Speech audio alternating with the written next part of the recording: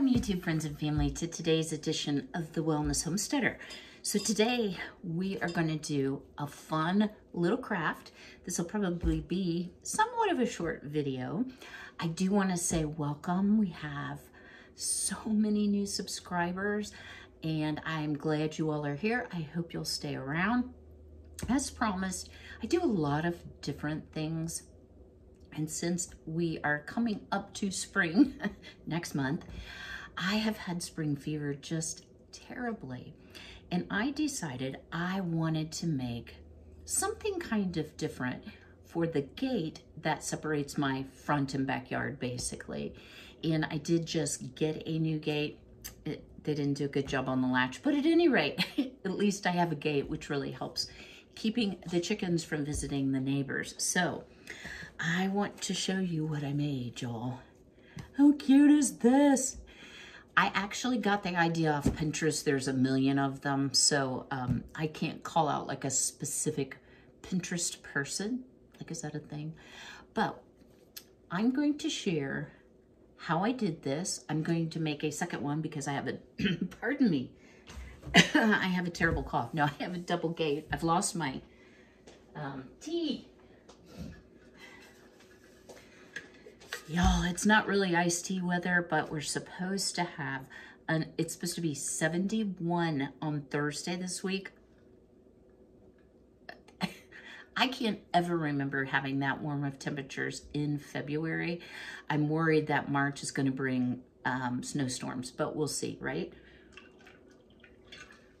So, the first thing I purchased, I'm just going to show you the materials, talk about them a little bit. I will link everything. This hose is a Flexzilla. I liked it because it is a um, larger than life nature color. I like the green. It's only a five foot hose. Funny thing, I got it on Amazon. It was the exact same price at Walmart because I did check. So yeah, super nice. And it comes bound together like this. The second thing, I go through garden gloves. oh, y'all. Because I wash them as soon as they get dirty. Um, I go through them pretty fast. So this is called, these are Cool Job. So they're like a fabric on the outside. Let me show you this. So your hands can actually breathe, but they're rubber so you don't get poked. Um, and it also covers your fingernails, which is a good thing for gardening. So uh, they get holes in them. I'm rough on them. You get them snagged on a thorn or whatever and tear a hole in them and then they're no good to anybody. So I ordered, I think it comes in a pack of six or pack of 10, but again, I'll link it. Um, highly recommend them. It's not that they're not durable, it's that I'm hard on them. then I did go to Walmart because I wanted some like garden implements. So these were 97 cents. And let me tell you, it cost me $5 of effort to get the sticker off. Just kidding. But they're plastic. So um, they probably wouldn't be super sturdy, you know, to actually use. But if I get tired of the wreaths, I can simply take it apart, use the pieces of hose, and use this. So kind of a dual purpose.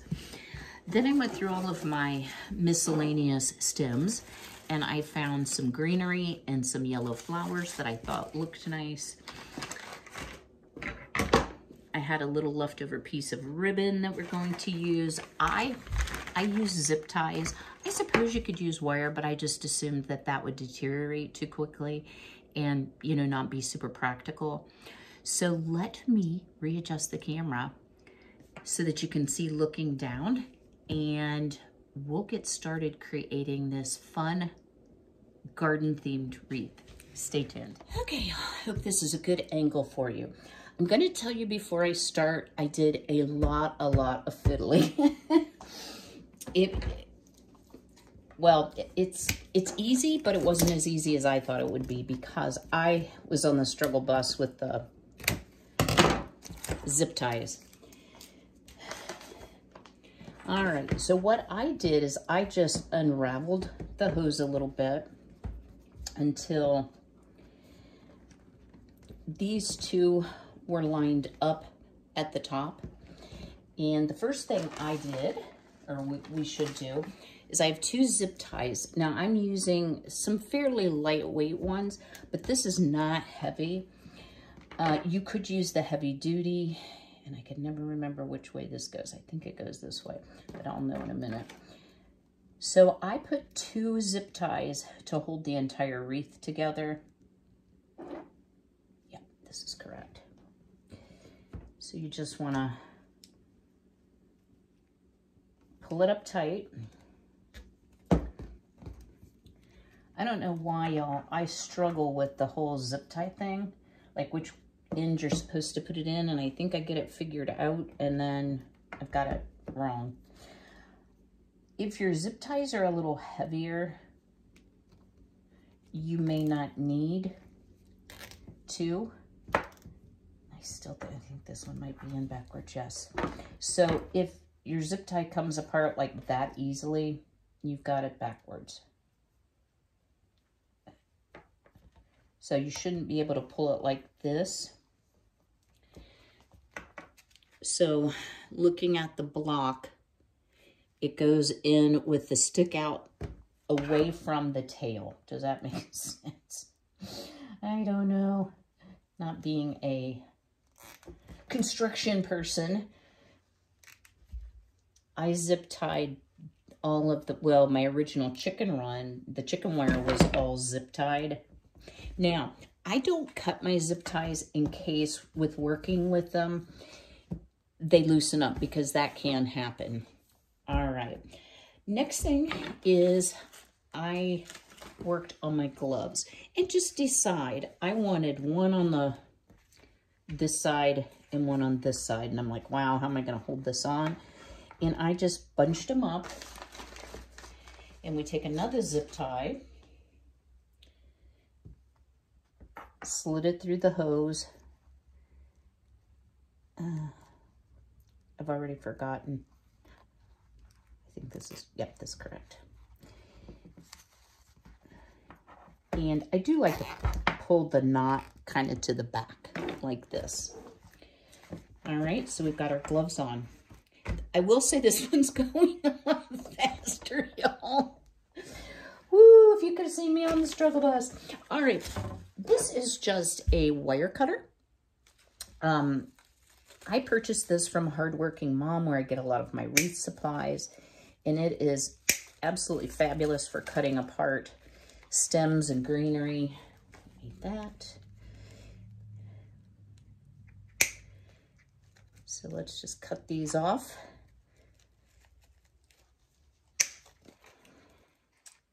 Like, yay. All right. Now, I ended up pulling these off because they just slide. And I'm like, mm, yeah, that'll be in the yard. and then I zip tied this together and then I zip tied it to the hose. I found that worked a lot better.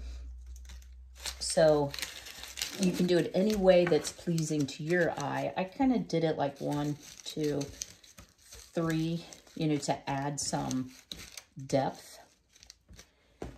And then let's zip tie these together. And you could wire them again. Okay, stick out goes away. Maybe I can actually remember this, y'all. The funny thing about the chicken run was halfway through, I decided I wanted sturdier zip ties. So I went to Lowe's and bought zip ties, and they were totally different, and I started with the struggle all over again. All right, so that's nice and secure. And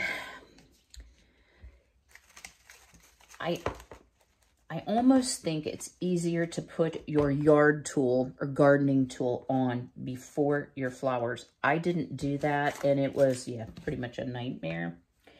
So this has a little notch. I'm going to try to Mm. Well, that's not going to be useful. Never mind that thought. But I actually zip tied that one to both. So let me go here to our, our reference. Oh, I have it going down, not up. Uh, I think that might be easier. Where did I zip tie that? Okay, yeah, up top here where the glove was. So I just saw, thought this idea was so cute. And I saw these wreaths, y'all, with, um, oh, pardon my shirt gapping. I didn't realize that. With, um, they were like grapevine wreaths and they had put clay pots and they had put like a greenish cast to it. So stinking cute. I might have to make that too. Um, I have a grapevine wreath that has seen better days. Actually, once upon a time, my sister was going to throw it away, and I was like, do not throw that away.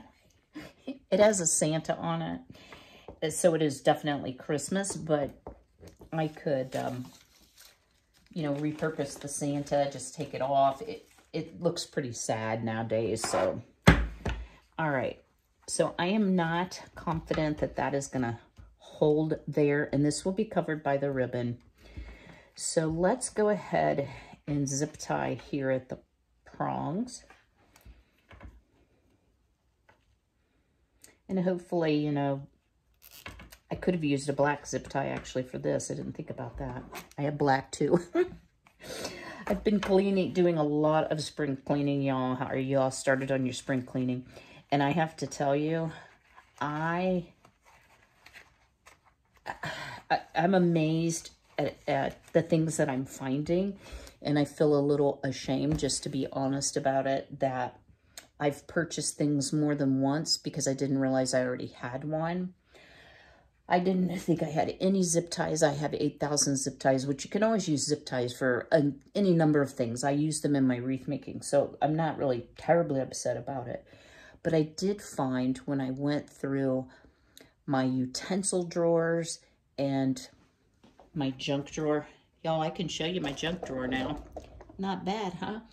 These are like my specialty things, like, you know, pastry cutter. Um, that's, that's actually an extra divider. Cookie scoops, um, you know, instant read thermometer, baking twine, rubber bands, that type of stuff.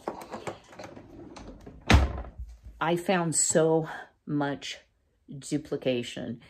So I encourage you all, if you're getting ready to spring clean, it might be kind of fun to see what do you have that is actually duplicated that maybe you could bless someone else with. I will be going, I have a dentist appointment this morning. Blah, pray for me. Now, actually, let's take a break from the wreath. This is kind of funny, y'all. You know, whenever you're you you are a YouTuber, you have to be accepting of the fact that you're not everyone's cup of tea. And there are people who like to um, pick on people. And if you've been with my channel a long time, y'all remember the whole debacle with my mouth and oh my gosh, being swollen like a chipmunk. I have had a lot of dental problems. I have congenitally um, bad teeth, I guess you would say. Um, but I've had a lot of dental work on the upper getting implants. So I have had people say, because I, I was missing this tooth, like, yeah, this tooth. And it would show when I smiled. People were like, do you not have any teeth? I'm like, really? so today I'm getting impressions for the very last implant, which is my back upper tooth that I had so much problem with. I am so excited and I will get my new tooth in about a month. So I will have all my teeth. okay, enough about that. Let's get back to the wreath.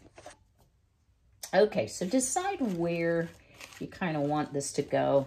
And these stems are somewhat wired, so you can bend them around, make them look pretty twist your leaves however you want them to be.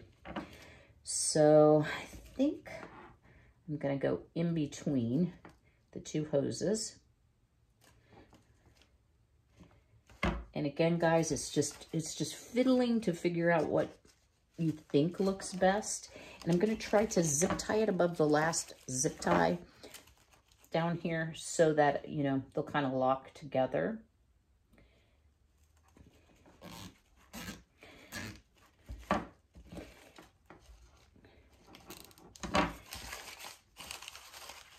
That's kind of crookedy. And so now the, the real fiddle begins. getting it like you want it. Getting these bent over to kind of cover your your work, so to speak. So here's where we are. Oops, I'm going too high. Y'all, I'm not used to um, filming from a head, above a head. Good gravy, Mabel. So the last thing I'm going to do, this ribbon I think is so pretty. It's so springy. It has a lot of spring green in it but I'm basically out of it. So I thought, you know what? I'm going to use what I have instead of making a big foofy bow. This is suitable for outdoor use. So that's nice. And I am going to start here with one a little longer than the other. And I'm to aim for right over that zip tie. Y'all, I'm doing a terrible job here. I guess, let me move this the whole thing over, up. Here we go. Okay. And then you make your loop.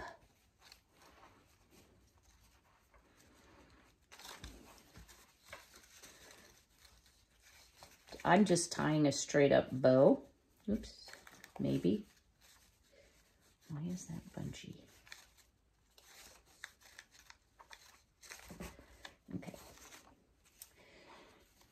Then you can kind of fiddle and fluff. This is a wired ribbon.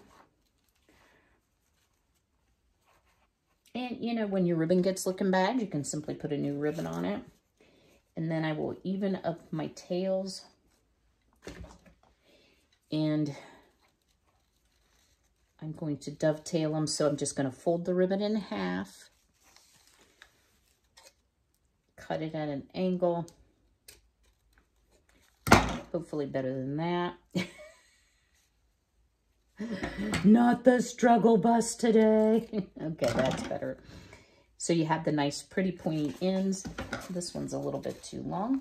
So we'll cut it off. That was the end of the roll anyway.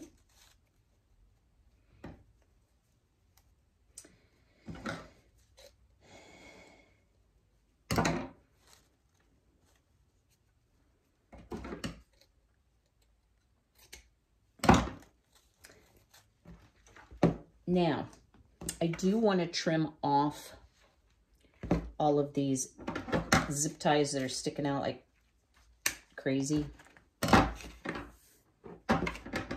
So let's clean the wreath up a little bit. I leave them long until I get to this part in case I decide, oh, I want to move it because you do have a little bit of play in it Cut off gloves and the oops, trowel. And then finally, I do cut the ones that are holding the hose together. And guys, there you have it. How, oops, how stinking cute is that wreath, right? All right, I'm gonna take you outside, show you where I'm gonna hang mine. So here we have our very cute wreaths. They're a little different, as are the handles on my gate. Like really, come on now. They did such a poor job on that. I'm not sure what I'm gonna do about that.